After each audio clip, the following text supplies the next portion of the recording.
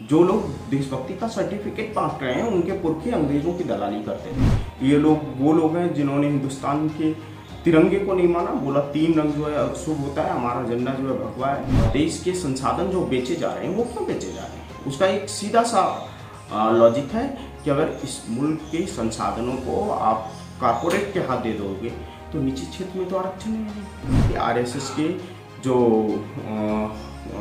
कार्यालय हैं उस पर भगवा झंडा फहराया जाता रहा है। अभी हाल में इन लोगों ने डर के माले जो है तिरंगा अपने कार्यालयों पे लगाना शुरू किया। आज राहुल गांधी जी की आवाज़ म्यूट कर दी गई संसद में। तो क्या लगता है आपको ये किस तरह से देखते हैं देखिए इस देश में सिर्फ़ राहुल गांधी की आवाज़ बंद नहीं कराई जा रही है। ये सिर्फ़ राहुल गांधी की आवाज़ नहीं है। ये इस देश के नौजवानों की आवाज़ है। इस देश के दलितों पिछड़ों की आवाज़ है। इस देश में अकलियत समाज के जो लोग हैं उनकी आवाज़ है। और इस देश में जो बाबा साहब का संविधान है, उसके खिलाफ जो साजिश रची जा रही है, उसके प्रतिरोध में एक आवाज़ थी जिसको पार्लियामेंट के अंदर दबाया जा रहा था। राहुल गांधी जी लगातार भारत जोड़ो यात्रा में बोलते थे कि पार्लियामेंट में हम बोलने जाते हैं तो म्यूट कर दिया जाता है। तो आज पूरे देश ने देखा है कि किस तरीके से पार्लियामेंट में एक आदमी को बचाने के लिए और पूरी दुनिया की सबसे बड़ी डेमोक्रेसी के लिए इससे बड़ी शर्मनाक बात नहीं हो सकती है कि एक पूंजीपति को बचाने के लिए जो है पार्लियामेंट में बहस होने में दी जा रही है। माइक माइक नोट कर दिया जा रहा है। तो इससे शर्मनाक हिंदुस्तान की सियासत में और कुछ हो नहीं सकता।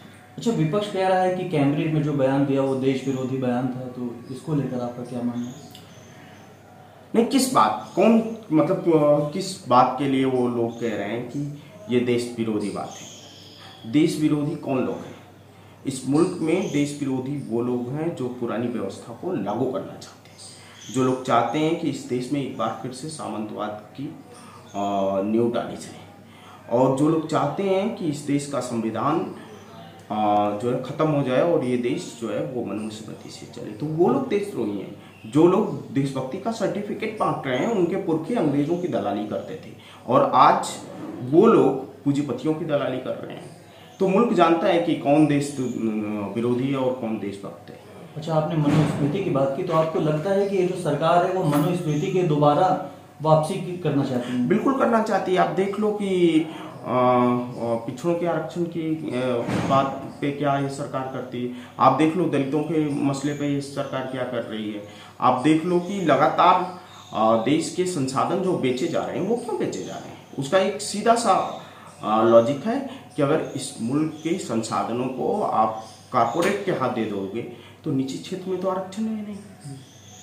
तो इस, मेरा अपना मानना है कि भारतीय जनता पार्टी एक प्रतिकामी प्रतिक्रियावादी शक्ति है। एक ऐसी ताकत है जो पुरातन व्यवस्था में यकीन रखती है और उसको लागू कराना चाहती है। अच्छा आप मानते हैं कि मौजूदा भाजपा सरकार अलोकतांत्रिक तरीके से काम कर रही है? देखिए अलोकतांत्रिक तरीके से काम कर रही है पुरातन तरीके पुरातन पंथी पार्टी है और एक ऐसी पार्टी है जो हिंदुस्तान की आइन को हिंदुस्तान के संविधान को नहीं मानती। इनके पुरखों ने नहीं माना। इनके इनके जो संघ के जिस संघ परिवार से भारतीय जनता पार्टी निकल के आई है, उस संघ परिवार के लोगों ने भारतीय संविधान को नकार दिया। कहा कि इस देश में हम मनुस्मृति लागू करेंगे। ये लोग, वो लोग हैं जिन्होंने हिंदुस्तान के तिरंगे को नहीं माना। बोला, तीन रंग जो है, अशुभ होता है, हमारा झंडा जो है, भगवा है। अभी हाल में आप लोगों ने देखा होगा कि आरएसएस के जो कार्यालय हैं, उस पर भगवा झंडा फहराया जाता रहा है। अभी हाल में इन लोगों ने डर के माले जो है तिरंगा अपने कार्यालयों पे लगाना शुरू किया है। तो ये लोग देशभक्ति की बात करें ये लोग बोले कि फला आदमी देश देशद्रोही है तो वो देश जानता है और भारतीय जनता पार्टी को देशभक्ति का सर्टिफिकेट बांटना बंद कर देना चाहिए। राहुल गांधी की बात करें तो उनके पीछे इतनी ताकतें पड़ी हुई लेकिन फिर भी वो पीछे नहीं हट रहे तो ये क्या उनका जिद्दीपन है? वो मतलब जानते हैं कि मैं ये कर के दिखाऊँगा जो मैंने ठाना ये इस देश की ताकत है। और मैं इसको इसलिए इस देश की ताकत बताता हूँ क्योंकि राहुल गांधी अपने आप में सिर्फ़ एक कांग्रेस पार्टी के नेता नहीं है, बल्कि वो हिंदुस्तान के का जो लीडरशिप नेतृत्व करने वाला जो गुण होता है, वो एक ऐसे नेता हैं जो पिछड़ों की आवाज़ उठाते हैं, जो दलितों की आवाज़ उठाते हैं।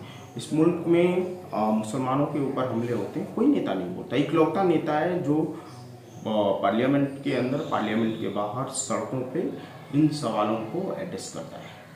तो आ, मेरा अपना मानना है कि ये आवाज़ जो है राहुल गांधी की आवाज़ आप पार्लियामेंट में बोलने नहीं दोगे लेकिन देश की सड़कों पे तो कोता मनाही तो है। हम देश की सड़कों पे उतरेंगे और बोलेंगे राहुल गांधी बोलेंगे। अच्छा भारत जोड़ो यात्रा से क्या लगता है? बदलाव आएगा? 2024 के चुनाव में। देखिए भारत जोड़ो यात्रा आ, आ, से ज़ाहिर तौर पे एक सियासी पार्टी है कांग्रेस पार्टी और उसने यात्रा की तो बिल्कुल फ़र्क पड़ेगा।